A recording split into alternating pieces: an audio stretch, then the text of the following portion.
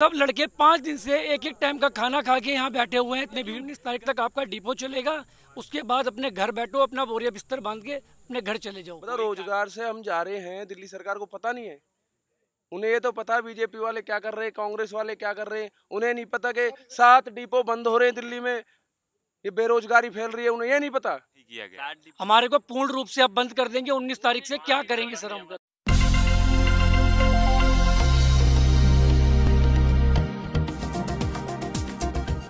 नमस्कार, मैं श्रवण कुमार, आप देख रहे हैं जनहित आवाज़। मैं इस समय दिल्ली के राजघाट डिपो पर हूँ और आप देख सकते हैं, मैं कैमरामैन से चाहूँगा कि दिखाएँ कि किस तरह से इतनी गर्मी है। पूरे दिल्ली में हीट वेव चल रहा है, ऐसे में 40 दिन से ज़्यादा भी हीट वेव चलते हुए हो गया है। ऐसे में यहाँ पे ड्राइवर और कंडक्टर धरना प्रदर्शन कर रहे हैं। आइए इनसे जानने की कोशिश करते हैं कि क्या वजह है कि ये लोग इतनी गर्मी में यहाँ पर धरना प्रदर्शन कर रहे हैं।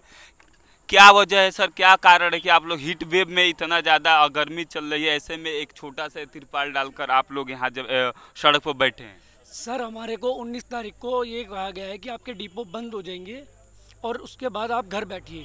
उसके बाद 19 तारीख के बाद हम 10 साल से नौकरी कर रहे हैं। घर बैठ जाएँगे तो हमारा घर का खर्चा, बच्चों का खर्चा कैसे चलेगा? सरकार हमारे बारे में पाँच पाँचवा दिन हमारे को है। सरकार किसी भी प्रकार की गतिविधि हमारे साथ नहीं करी। कोई हमसे पूछने नहीं आया इतनी गर्मी में आप कैसे बैठे हो? कोई पानी पिएगा कोई भूखा बैठा है। सब लड़के पाँच दिन से एक एक टाइम का खाना खा के यहाँ बैठे हुए हैं इतने भीड़ गर्मी के अंदर। कोई पूछने नहीं आया हमसे कि भाई आप कैसे चलेगा हमारा तुम्हारा घर परिवार? ये धरना प्रदर्शन कितने दिन से चल रहा है? सर आज पाँचवा दिन हो गया धरना प्रदर्शन को हमारे।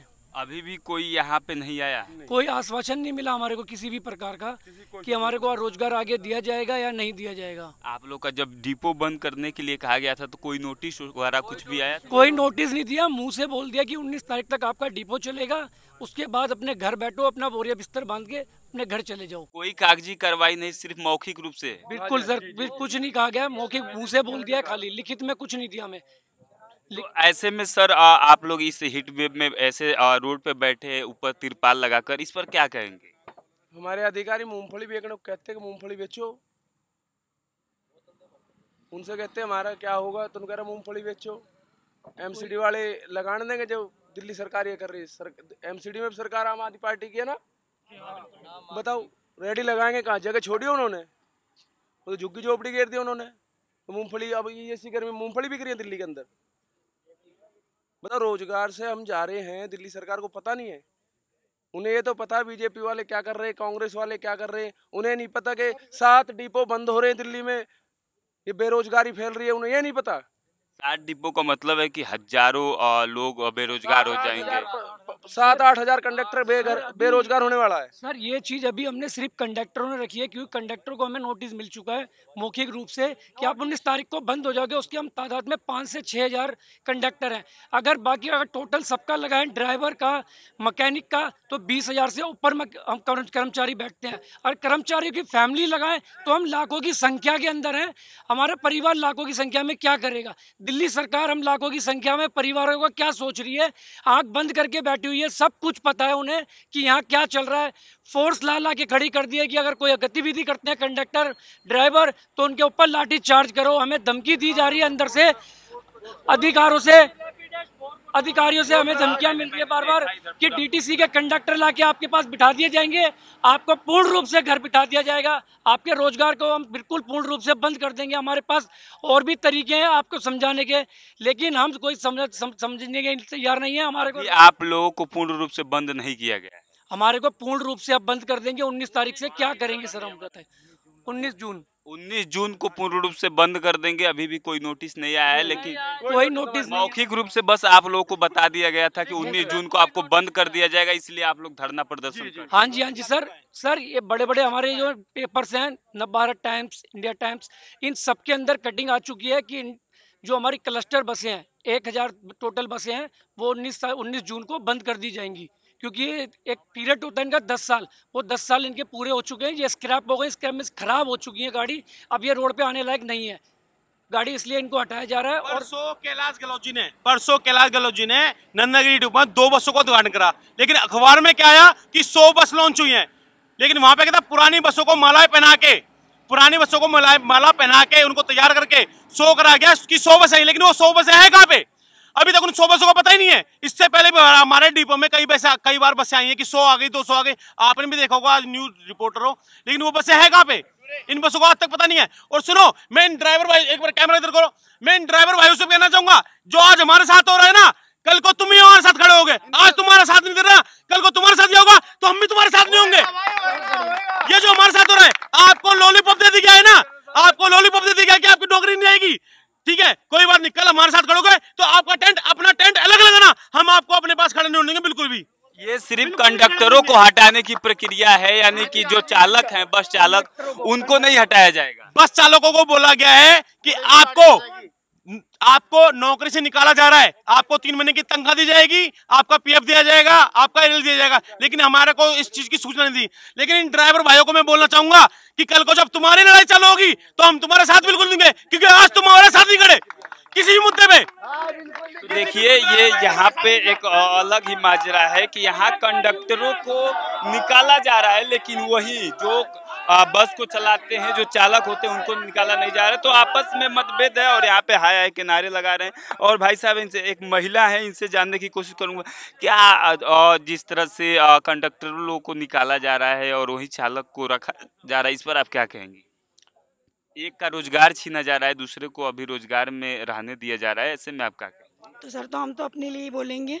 डीटीसी वालों की तो लगी हुई है। हमें तो ये बोला गया था कि आप ही रख के जाओगे स्टार्टिंग में। अभी तो लिखित में नहीं सिर्फ़ ऐसे ही सुपरवाइजर वगैरह ऐसे बोल देते थे कि तुम लोगों की नौकरी कहीं नहीं जाएगी तुम गाड़ियाँ निकालो। अभी भी यही बोला जा रहा है कि आगे गाड़ियाँ निकालो। सर जब हमें मालूम है उन्नीस तारीख के बाद हमारी नौकरी जानी है तो हम क्यों निकालेंगे बताओ? अभी तो ये सब तमाशा देख रहे हैं उधर देखना सब लोग तमाशा देख रहे हैं। और ये पाँच हज़ार जो बेरोज़गार हुए हैं कहाँ जाएँगे? इतनी गर्मी में हम पूरे दिन भूखे प्यासे यहाँ बैठते हैं। किस लिए बैठे हैं सर बताओ?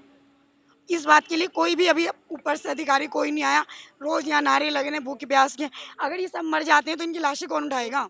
ये बताओ ना। ऐसे में केंद्र में सरकार बन चुकी है मोदी जी की। उनको भी कुछ संदेश देना चाहेंगे कि नहीं? किनको संदेश तो सर सब पहुँचा हुआ है सब मालूम है। ऐसा कुछ नहीं है। कोई आया नहीं है। मालूम सबको है सब दिल्ली से सातों सांसद जीते हैं लेकिन सातों सांसद में एक भी सांसद हमारे पास नहीं आया हम कल कल मनोज तिवारी के पास भी गए थे उनको बता के भी आए और हम हेल्थ मंत्री के पास गए थे वो केंद्रीय मंत्री बने लेकिन हमारे पास कोई बीजेपी नेता नहीं आया कोई आम आदमी का नहीं आया। हम उसको भी रद्द करते हैं। हम सारे नेताओं का बहिष्कार करते हैं। कोई हमारी सुनवाई नहीं करता। वोट के टाइम पे सारे हमारे पास आ जाते हैं कि हमारी सुनता वाली खबर है आप भी जानते हो क्या सांसदों का फ़र्ज़ नहीं बनता? नौ सौ सत्तानवे बसें बंद हो रही है। एक बार नोटिस किया जाए इस चीज़ को। नौ सौ सत्तानवे। इससे पैसेंजर कितना परेशान हो रहा होगा? तो ये ये ये बस आ, पेपर आउट भी हो रहा है कि नौ सौ संतानवे बसें जो है वो बंद की जा रही हैं। अब सोचिए कि नौ सौ जो संतानवे बसें के कितने कंडक्टर होंगे वो बेरोजगार हैं। और कंडक्टर के जो परिवार होंगे बताइए लाखों की संख्या में किस तरह से लोग भूखमरी के शिकार हो जाएँगे। और इस देश में जिस तरह से बेरोजगारी अपने चरण सीमा पर ऐसे में जो रोज़गार में थे उनको भी हटाया जा रहा है। और भी लोग हैं उनसे बातचीत करने की कोशिश करेंगे। क्या लग रहा है आप लोग जिस तरह से हीट वेव में में बैठे हुए कुछ आप लोग की सरकार सुनेगी या नहीं? नहीं हमारी सर हमारी बातें कोई सरकार नहीं सुन रही है और यहाँ तक कि इतने गर्मी में हमारा एक भाई कल बेहोश भी हो, हो चुका है। जिस जिस भाई का नाम पिंटू है और पिंटू पहलवान। नाम है वो उस भाई को हॉस्पिटलाइज भी किया गया है। और आप कंडीशन देख ही रहे हो हम किस टेंट में सिर्फ़ एक पर्दा लगा हुआ है। इतनी गर्मी हो रही है बहुत ही ज़्यादा ना हमारे पास कुछ खाने की सुविधा है ना पानी पीने की सुविधा है। डीपो के अंदर से पानी पी लेना हमसे मना कर दिया है डिपो। डिपो के अंदर से हमारा पानी वानी सब बंद कैंटीन है अंदर लेकिन कैंटीन का खाना नहीं बनाया जा रहा। हमारे लिए हमने बोला हमारे लिए खाना बनाओ लेकिन उसके लिए मना कर दिया क्या? जबकि उसको हमारे को पैसे भी हम जब पैसे भी देना चाह रहे आप लोग पैसे भी अपना देते हैं फिर भी आप लोग को बंद कर दिया। डीपो डिपो वालों ने जो डीपो के मैनेजर है उन्होंने कैंटीन वालों को मना कर दिया। इनको किसी भी चीज़ की सुविधा नहीं जाए। न खाना ना पानी और हम अपने घर से अपने जो भी भाई है मैं अपने घर से खाना दस लोगों को मंगा रहा हूँ। ये भाई मंगा रहा है। हमारे पास ये तो बहुत अन्याय है देख सकते हैं कि पानी तक बंद कर दिया गया है धरना प्रदर्शन ये लोग कर रहे हैं। अपने हक की मांग करना ये तो संविधान में बड़ी संवैधानिक अधिकार है भाई साहब। लेकिन किसी का इलेक्ट्रिक डिपो है। इन अधिकारियों ने जाके इलेक्ट्रिक डिपो में मना कर दिया कैंटीन में कि इन इनको कोई खाना पीना पानी किसी चीज़ की भी सुविधा ना दिए जाए। हम कहा जाएँगे? मरेंगे? चालीस डिग्री टेम्परेचर हो रहा है इस टाइप पे। लगाया था हमने। हमने कूलर के लिए लाइट मांगी इन्होंने लाइट नहीं दी हमारे को। हमें लाइट हमने लाइट। हमने लाइट मांगी थी कूलर लगा रहे हैं हम। ये ये, ये मैं एक जान बात जानना चाहता हूँ कि ये प्रदर्शन रात और दिन दोनों टाइम चल रहा है। रात में यहाँ पे अभी हमारी संख्या सौ है लेकिन रात में क्या क्या बात होती है? कईयों को घर पे काम होते हैं। कोई किराए पर रह रहा है उसकी बीबी घर पे है तो मजबूरी जाना पड़ता है। लेकिन हमारे कुछ भाई फिर भी अपने दिखा के यहाँ पे बीस बाईस लड़के रुकते हैं। बीस बाईस लड़के यहाँ पे रुकते हैं। चाहे उनका घर कुछ हो ना हो, मेरी मजबूरी है, मैं घर जाता हूँ, भाई की मजबूरी है, लेकिन फिर भी कोई ना कोई भाई यहाँ पे रुकता है और अपना पूरा सहयोग देता है। मैं उन भाइयों को बोलता हूँ आप बधाई के पात्र हो असली जंग आप लड़ रहे हो जब यहाँ पे रात में रुकते हो ये मैं एक बात आपसे जानने की कोशिश करूँगा कि 19 तारीख को बंद करने के लिए मौखिक रूप से कहा गया है, लेकिन आप लोग अभी से ही, आज 12 तारीख अभी से ही बंद चल रहे हैं। सर, मैं आपको, आप डिपो के अंदर चलो, मैं आपको डीएम के गेट के बाहर दिखाऊँगा, नोटिस, सुपरवाइजर के गेट में नोटिस दिखाऊँगा, आप अंदर चलो, उसको शूट करो। सबके डिपो के बाहर नोटिस लगा हुआ है कि 19 तारीख के बाद डिपो बंद हो जाएगा, ठीक है? हम अगर 19 तारीख को जॉब करते यहाँ पे ड्यूटी करते तो उसके बाद हमारा क्या होता? आज इन पे प्रेशर बनना है, क्योंकि बसें निकली, दिल्ली सरकार इन पे प्रेशर बना रही है बस निकालने का। दिल्ली सरकार प्रेशर बना रही है कि आप बस निकालिए। हाँ बस निकालेगा लेकिन वो हमारी मांग तो सुननी हमारी मांग उन्नीस तारीख के बाद हम करेंगे क्या? उन्नीस तारीख के बाद हम करेंगे चलो उन्नीस तारीख को मैंने माना जनता परेशान है। हम जनता के हित में हम जनता के हित में लेकिन जनता के जनता हमारे हित में तो है। कम से कम जनता हमारे तो सुने उन्नीस तारीख को अगर डिपो बंद होते हैं उसके बाद हम क्या करेंगे? हम चौदह दो और हज़ार से क्लस्टर शीला दीक्षित के जमाने में।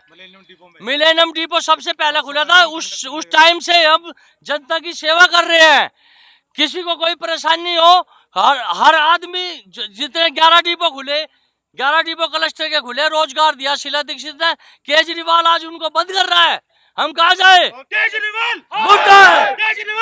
देखिए यहाँ पे केजरीवाल। तो हाय हाय के नारे लग रहे हैं। और मैं मैं कैमरा मैन से चाहूँगा कि दिखाएँ भाई साहब दिखा रहे हैं कि कल एक हीट वेव के चपेट में आकर भाई साहब एक बेहोश हो गए थे। अभी वो आ, आप देख सकते हैं कि ये अभी हॉस्पिटलाइजर किया गया है इनको और देख सकते हैं कि क्या नाम है मेजर अटैक आया था। हाँ देखिए कितना खतरनाक मेजर अटैक है जो पिंटू पालवान है वो कंडक्टर है इसमें। तो ये लोगों की मांग थी कि 19 तारीख तक अगर आप हमको रोडवेज़ पर रोज़गार देते 19 तारीख के बाद कौन रोज़गार देगा। तो इस तरह की उनकी मांगे थी। कल को ऐसा हुआ है कि हमारे जो डिबू सुपरवाइजर ऑफिसर है उन्होंने ड्यूटी ऑफिसर जो है उन्होंने अपनी मर्ज़ी से गाड़ी निकलवाई है। उनके पास में कंडक्टर बन के निकाली है। ऐसा होता ना तो उनके पास में लाइसेंस था। सर एक सुनो सर एक ना एक अथोराइज होता है अथॉरिटी से एक लाइसेंस बनता है जिस पे आधारित होता है कि ये आदमी लाइसेंस पे बेस पे बस निकाल सकता है। उसका लाइसेंस मिलता है, चाहे ड्राइविंग लाइसेंस होता है या कंडक्टर लाइसेंस होता है। उन सुपरवाइजर को कोई लाइसेंस नहीं, कोई ड्रेस नहीं थी, फिर भी उन्होंने ज़बरदस्ती वहाँ से बस निकाल। और बाकायदा मैं धमकी दी कि हम अपने कंपनी के पैरागन कंपनी के गार्ड बुलाएँगे आपको पिटवाएँगे आपको पिटवा के यहाँ से भगवाएँगे अगर हमारी बस होगी तो। लेकिन फिर भी हम डटे रहे हम डटे रहे। उन और उनकी सुपरवाइजर की वीडियो हमारे पास है। बाद में उन्होंने गलती भले गलती मांगी हो लेकिन हमको विरोध करते हैं। नौकरी तो उनकी भी जाएगी लेकिन उनको और दे रखा है कि लाख दो लाख तुम्हें मिल जाएँगे लाख दो लाख रुपए मिल जाएँगे और तुम इनको कंडक्टर करो साइड करो धमका के करो चाहे पैसे से खरीदो। लेकिन हमारे में से कोई भी कंडक्टर ऐसा नहीं है जो पैसों में बिक जाए। ऐसे में आप एक सवाल निकल कर आ रहा है कि आपके जगह पर कोई दूसरा कंडक्टर लग गया है काम करने में? सर कंडक्टर तो देखो कंडक्टर जब बसें नहीं आएँगे तो कंडक्टर कहाँ से लेके निकलेगा? आप कह रहे हैं कि जो वहाँ के सुपरवाइजर है उन्होंने बस निकलवाने की कोशिश की और वहाँ पे जिनके पास कोई लाइसेंस नहीं है वो निकल निकाल रहे हैं। जी सर एक दिल्ली ट्रांसपोर्ट दिल्ली ट्रांसपोर्ट एक ऑथोराइज करती है। जैसे कि कंट्रैक्टर ड्राइविंग लाइसेंस होता है, ऐसी कंट्रैक्टर लाइसेंस होता है। उसके बिना कोई भी दिल्ली के डीटीसी बस हो कलेक्टर बस हो, उसके बिना कोई बस नहीं चलेगी। लेकिन उन्होंने फिर भी फर्जी लोगों को बुलाया, फर्जी लोगों को बुलवा के बस निकलो यहाँ से। और उसको हमने विरोध करा तो हमें मारने की धमकी दी, यहाँ से हमें भगाने की धमकी दी। जान की भी खतरा है। जान का भी खतरा हमें मारने की धमकी दी जा रही है। हमला हुआ। आप लोग शांति तरीके से यहाँ पे बैठकर अपनी आवाज़ अपनी बुलंद कर रहे हैं अपनी मांगों को पूरा करने के लिए यहाँ पे प्रदर्शन कर रहे हैं। इसके लिए आपको मारने की धमकी दी जा रही है। बीबीएम डिपो में रोक रोका जा रहा था उसे मारने की मारने की धमकी दी जा रही है। हमें भी धमकी दी जा रही है। अधिकारी हमारे धमकी दे रहे हैं कि तुम्हें मारा जाएगा। अपने मार्शल बुलवा रहे हैं पैराग्रीन वाले। बकायदा हमारे पास वीडियो है और दिखाओ उसे अमित यादव जी है बीबीएम डिपो में उन्होंने हमारे हमारे कंडक्टर भाई को थप्पड़ मारा। उन्होंने एक को नहीं मारा पूरे सात डिपो के कंडक्टर को थप्पड़ मारा। हम उस भाई के साथ हैं। हमें बहुत दुख है। तो देखिए यहाँ पे ये लोग आरोप भी लगा रहे हैं कि जान की खतरा है हम लोग प्रदर्शन कर रहे हैं तो ये लोग मार पीट रहे हैं हम लोगों को कि कह रहे हैं कि क्यों आप लोग कंडक्टर को ये देखिए, ये वीडियो दिखा रहे हैं लोग। उसको एक कान से सुनाई नहीं दे रहा। ये देखो सर ये वीडियो एक कंडक्टर को मारा उसको कान से सुनाई दे रहा और उसके ऊपर कोई कार्रवाई नहीं है। वो जो सुपरवाइजर है वो अपने घर बैठा आराम से। उसके ऊपर कोई कार्रवाई नहीं उसको पैसे खिला दे क्या? बैठो ये देखो दिल्ली पुलिस हमारे तो ऐसे में आप देख सकते हैं किस तरह से यहाँ पे गुस्सा है लोगों का। लोग यहाँ पे हीट वेब में एक छोटा सा ये पतरी लगाकर नीचे बैठकर प्रदर्शन कर रहे हैं। और ऐसे में सरकार को इनकी संज्ञान लेनी चाहिए और जिस तरह से बेरोजगारी इनके चरण सीमा पर पहुँच चुकी है ये लोग कह रहे हैं कि मौखिक रूप से हमको कह दिया गया है कि 19 तारीख को आप लोगों को निकाल दिया जाएगा। अब ये 19 तारीख को अगर बेरोजगार हो जाएँगे तो कहाँ जाएँगे? ये सरकार की प्राथमिकता होती है कि 19 तारीख को कहाँ जाएँगे आखिर इसलिए लोग पहले से प्रदर्शन करें ताकि हमको निकाला न जाए। और ये लोग दिल्ली सरकार के नारे भी लगा रहे हैं। एलिगेंस लगाए जा रहे हम पे झूठे एलिगेंस लगाए जा रहे हैं अंदर से कि ये लोग कुंडी बंद करे झूठे एलिगेंस लगा के हम पे पुलिस बुलाई जा रही है। कल सुपरवाइजर ने झूठे एलिगेंस लगा के हमारे खिलाफ पुलिस बुलाई। झूठी झूठी कंप्लेनें की जा रही है हमारे खिलाफ। सर हमारे खिलाफ झूठी झूठी कंप्लेनें की जा रही है। रात को हमें दिक्कत हो रही है। अगर हमें कुछ भी उसके जिम्मेवार हमारे अधिकारी और दिल्ली सरकार होगी। सारे डिपो में देखो सर मैं आपको अंदर लेके चलूँगा अभी। सुपरवाइजर के गेट के बाहर डीएम के गेट के बाहर सबके गेट बाहर नोटिस लगे हुए हैं ठीक है ना सर? कि डिपो बंद हो रहा है। और ये हमारा सुपरवाइजर इसका नाम अजय शर्मा है। कल ये बकायदा इनके पास कोई अथॉरिटी नहीं है कि ये बस निकलवा ना ये कंडक्टर है। ये फिर भी कल यहाँ से ज़बरदस्ती बस लेके गए देखो ये सारी वीडियो है। जब इनसे इनसे हमने सवाल पूछा कि आपके पास ऑथराइज नहीं है आपका लाइसेंस का ड्राइवर कंडक्टर लाइसेंस का है तो इन्होंने हमें अपसत कहे। धमकी दी। इनकी बातें सुनो। इनकी बातें सुनो सर। ना तो उनके पास कोई ड्रेस है, ना कोई और दिल्ली के अंदर अलाउड है। बिना कंडक्टर वर्दी के बिना कंडक्टर के कोई बस नहीं निकल सकती ना बिना ड्राइविंग ऐसे में भाई साहब लोग की नाराज़गी और सही बात है कि अगर पब्लिक की सुरक्षा दिखा जाए तो पब्लिक तभी सुरक्षित रहती है जब कोई ड्रेस में रहता है। नहीं तो उसके साथ अनहोनी होने की भी आशंका हो सकती है क्योंकि आप सभी लोग जानते हैं कि कालांतर में अनहोनियाँ हो चुकी हैं बसों में। तो इस पूरे बातचीत पर आपकी क्या राय है? कमेंट बॉक्स में ज़रूर बताएँ और ये जो आवाज़ हो सरकार तक पहुँचनी चाहिए क्योंकि अभी ये पैसे मिलाकर अपने हमने ये वाला बिछवाया इन्होंने गेट पे लगाने नहीं दिया हमारे तो ये देखिए यहाँ पे पैसे लगा के एक पोस्टर भी लगाए हैं यहाँ पे आप देख सकते हैं परिवहन विभाग और दिल्ली सरकार और ये लोग का आरोप है कि हमें गेट पर लगाने की ये अनुमति नहीं दी गई क्योंकि यहाँ लोग ये मजदूर एकता जिंदाबाद के चीज़ें हैं आप देख सकते हैं कि परिवहन विभाग दिल्ली सरकार शर्म करो शर्म करो के जिस तरह से नारा लगा हुआ है तमाम ऐसी चीज़ें यहाँ पर लिखी हुई हैं तो ये सारी चीज़ें रही हैं। और ये इनकी अ, मांग जायज़ है क्योंकि ये लोग अ, कितने दिनों से आप लोग काम करते हैं? हम यहाँ दस ग्यारह साल हो गए सर। ग्यारह साल से आप लोग काम करते हैं? ग्यारह साल से नौकरी कर रहे हैं हम यहाँ पर। और एकदम से हटाया जा रहा है। एकदम ऑन द स्पॉट हमें हटाया जा रहा है। कोई नोटिस नहीं है हमें यहाँ पे हटाने का। सोचिए जो 11 साल अपने जीवन का क्रीम समय इस नौकरी में दे चुका हो और उसको एकाएक बिना नोटिस मौखिक रूप से कहा जा रहा है कि आपको 19 तारीख को हटा दिया जाएगा। ऐसे में आप हमें ज़रूर बताएँ देश की जनता का भी एक अहम हिस्सा रोल होता है कि क्योंकि ये लोग अपनी दिन रात मेहनत करके लोगों को आवागमन करने में काफ़ी सुविधा प्रदान करते हैं। तो इस पूरे बातचीत पर आपकी क्या राय में कमेंट बॉक्स में ज़रूर बताएँ। शुक्रिया।